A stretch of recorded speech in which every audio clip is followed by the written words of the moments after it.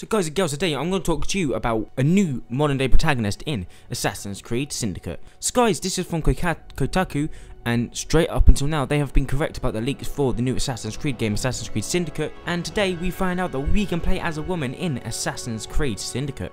Now guys, almost I'm going to read exactly what they say on Kotaku. So almost a year after publisher Ubisoft made headlines for not including female protagonists in Assassin's Creed Unity, today we've got some news that there will be a playable woman assassin in the next entry of Ubisoft's Mega series, according to two people familiar with the game. This full Assassin's Creed, which will be officially announced tomorrow as Assassin's Creed Syndicate, will give players access to two main characters, Jacob and Evie, pictured above. They're brother and sister, said the source, and they will be heavily involved in the criminal underworld of Victorian London, where the game is set. They hear it will be out this fall for PS4, Xbox One and PC.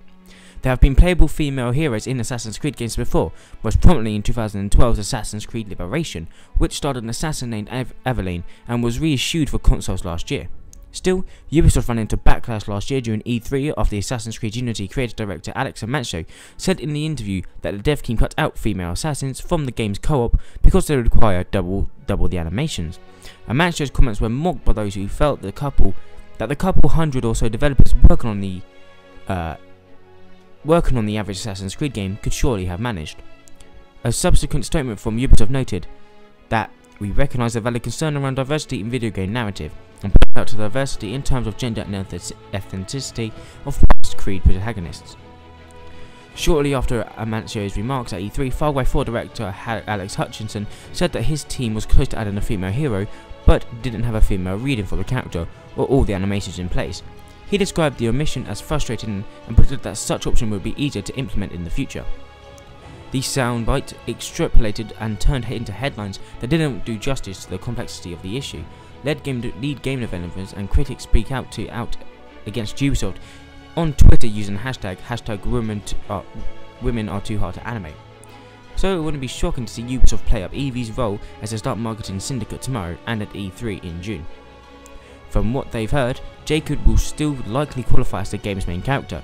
The balance in story missions may favour the brother about 75% to 25%, according to a person familiar with, syn with Syndicate. He spoke under condition of anonymity because they were not authorised to talk public publicly about the game.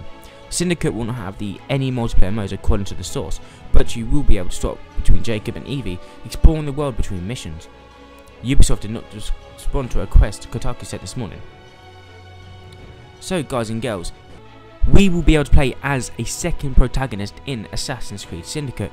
Now this is quite cool, I like the fact that we get to play as a woman. I, I wouldn't say I prefer it, but I would say it'd be more fun to actually do.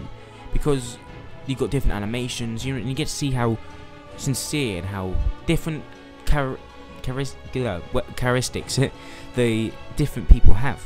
Also guys, Jake Kotaku have said that they will be part of the criminal underworld, i.e. Syndicate. So let me know what you guys think in the comment section below. Do you like the idea that we could play as a woman and that we have two protagonists in Assassin's Creed Syndicate? If you like the video, subscribe and ready for the latest and greatest information on Assassin's Creed Syndicate and the leaks and gameplay. Bye for now and have a great day.